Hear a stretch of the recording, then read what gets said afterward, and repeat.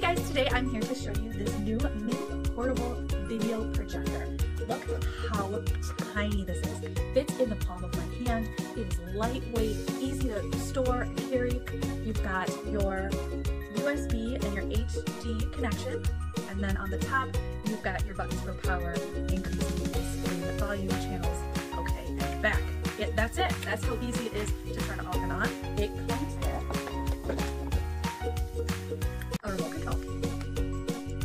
power cord, and it comes with a HDMI hookup cord as well. So you're just gonna put that right into the projector and then into your source. So let's get this mini projector hooked up and powered up and projected onto our screen so you guys can see the quality of this image.